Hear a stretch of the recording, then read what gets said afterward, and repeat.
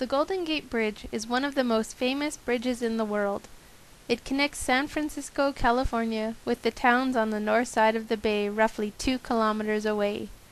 It was built during the Great Depression and was completed in 1937 at a cost of only $35,000,000.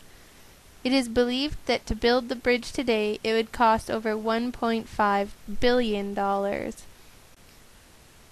The bridge is a suspension bridge, in that the road surface is supported by cables swung from one side to the other over the top of two towers. Each of the cables is made up of a lot of smaller cables woven together. In fact, there are 27,572 cables inside each of the main cables. There is enough cable to wrap around the earth at the equator nearly six times. The towers of the Golden Gate Bridge are 227 meters high, which is approximately the height of a seventy story skyscraper. The cables that stretch from one side to the other are under a tremendous amount of tension.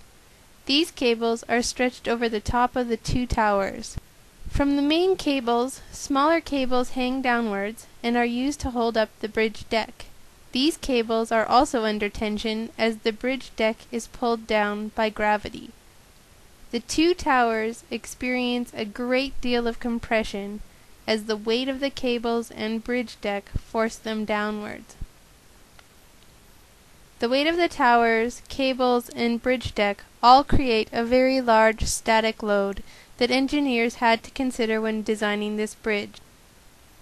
They also had to think about the dynamic load added by the weight of all the cars and people traveling over the bridge.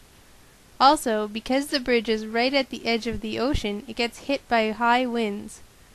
By having crisscrossing trusses at the base of the bridge deck, the engineers helped strengthen the bridge but also let the wind go through. This is very important as you will see when we visit the Tacoma Narrows Bridge in Washington State. Go down to the street view to see the full structure of the Golden Gate Bridge. After you have finished at this site, move down to the next stop on the bridge. When you walk across the bridge in street view, take note of the vertical cables coming down to support the bridge deck. Also look for the massive concrete anchors that secure the main cables.